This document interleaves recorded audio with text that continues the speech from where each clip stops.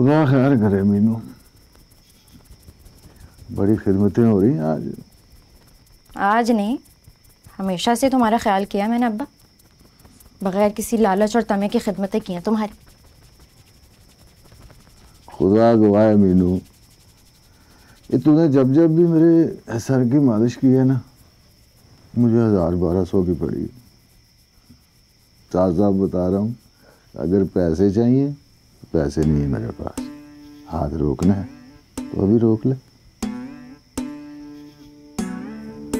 आधे घंटे से तुम्हारी मालिश कर करके मेरे हाथ लकड़ी हो गए तुम अब बता रहे हो।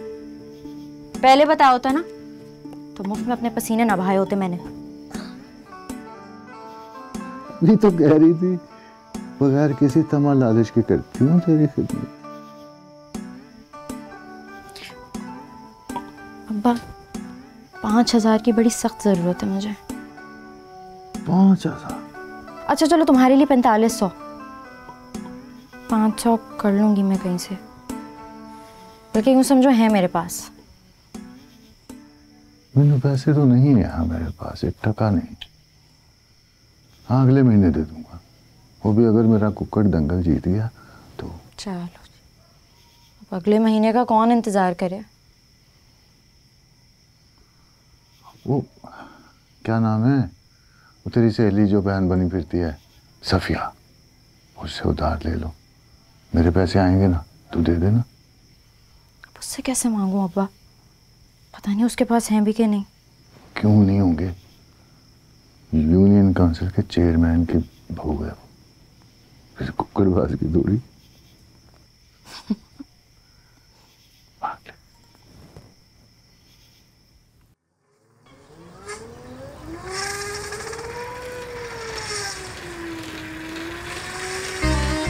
देख ले मीनो बन गया तेरा मोटरसाइकिल। तेरे दिमाग ने और मेरे दिन रात की मेहनत ने कामयाब तजर्बा कर दिया है। रात भर बैटरी चार्ज करो और पूरा दिन दिल खोर के चलाओ। चलेगी कैसे? बहुत ही आसान। मोटरसाइकिल से भी ज़्यादा आसान है। जब जब चढ़ाई आए तो ये बटन दबा देना। मोटर चल पड़ेगी। और जब सीधा रास्ता आए तो फिर टांगे चलाना ताकि बैटरी कम खर्च हो। ट्राई करूँ? बिस्मिल्लाह। कहाँ जा रही है? मेरे पैसे कौन देगा? वही लेने जा रही हूँ।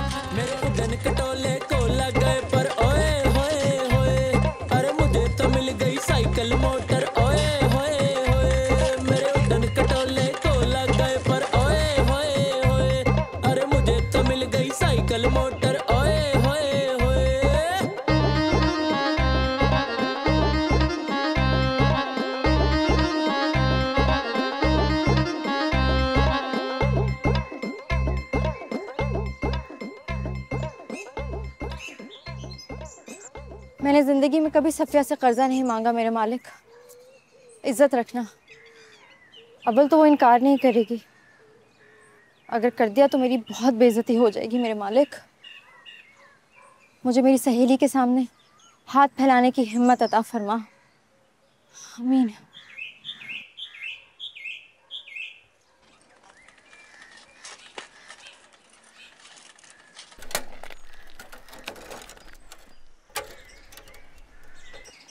तू साइकिल पे आई है? साइकिल नहीं मोटरसाइकिल है। अब आके मुझसे मिल भी ले। मैं नहीं आ सकती तेरे पास।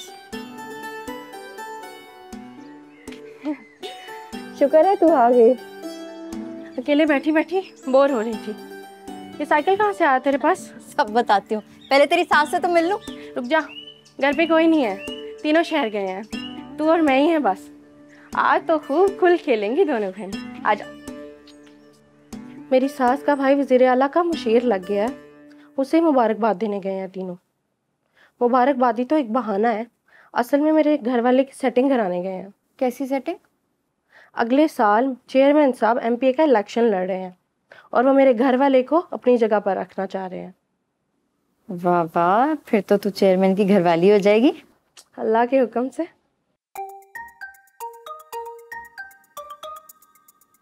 तू बैठ मैं लाती हूँ।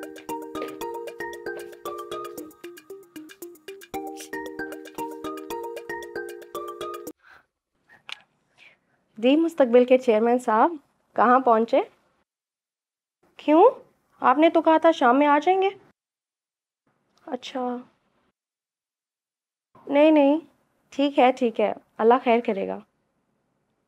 जब मीनू मेरे पास है तो किसी और को क्यों बुलाऊं? हाँ आई हुई है। तुम अपना ख्याल रखो। अभी नहीं कह सकती ना। सामने बैठी है। रब रखा क्या हुआ? भाई क्या कह रहा था? कुछ नहीं ड्रामे कर रहा था।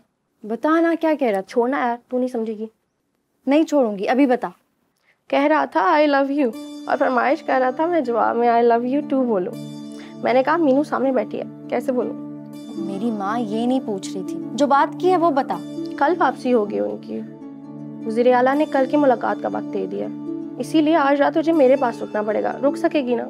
हाँ रुक जाऊँगी। कल कॉलेज की भी छुट्टी है। तू बस अपने फ़ोन से एक नंबर मिला देगी? हाँ हाँ क्यों नहीं? मिला के देखते हैं।